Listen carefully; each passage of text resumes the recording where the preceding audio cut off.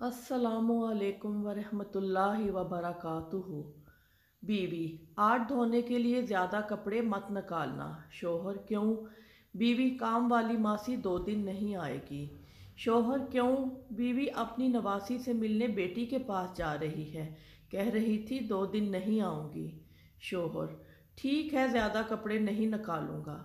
बीवी, और हाँ मासी को पाँच सौ रुपये दे दूँ? शोहर क्यों अभी ईद आ ही रही है तब दे देंगे?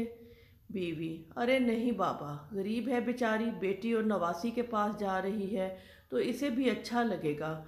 और कुछ अपनी नवासी के लिए भी ले जाएगी, इसकी बेटी और नवासी भी खुश हो जाएँगी। वैसे भी इस महँगाई के दौर में इसकी तनख्वाह से क्या बनता होगा?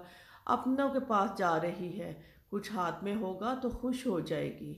शोहर तुम तो ज़रूरत से ही ज़्यादा जज्बाती हो जाती हो। मेरा ख्याल इसकी ज़रूरत नहीं, बीवी। आप फ़िक्र मत करें, मैं आपसे एक्स्ट्रा पैसे नहीं मांगूँगी। मैं आज का पिज़्ज़ा खाने का प्रोग्राम मनसूख कर देती हूँ। खा मखा पाँच सौ रुपये उठ जाएँगे। इस मोटी रोटी पिज़्ज़ा के आठ टुकड़ों के बदले इसकी मदद मुझे बेहतर लगती है। शोहर।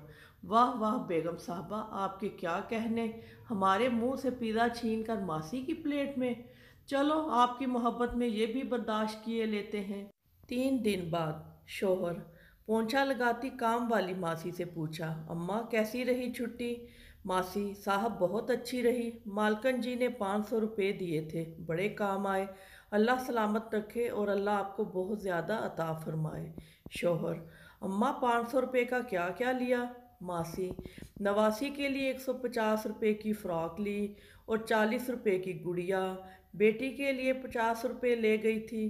पचास रुपये की जलेबियाँ मोहल्ले में बांट दी। साठ रुपये किराया लग गया था। पच्चीस रुपये की चूड़ियाँ बेटी के लिए और दामाद के लिए पचास रुपये का बेल्ट लिया।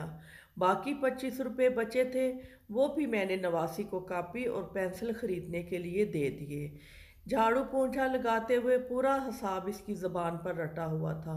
शोहर पाँच सौ रुपये में इतना कुछ, वो हैरत से दिल ही दिल में गौर करने लगा। इसकी आँखों के सामने आठ टुकड़ों वाला पिज़्ज़ा घूमने लगा। वो इन आठ टुकड़ों का मुवजना मासी के खर्च से करने लगा। पहला टुकड़ा बच्चे के ड्रेस का, दूसरा टुकड़ा पेड़े का, तीसरा टुकड़ा महल्ले के लोगों का, चौथा किराया का, पांचवा गुड़िया का छठा टुकड़ा चूड़ियों का सातवां दामाद की बेल्ट का।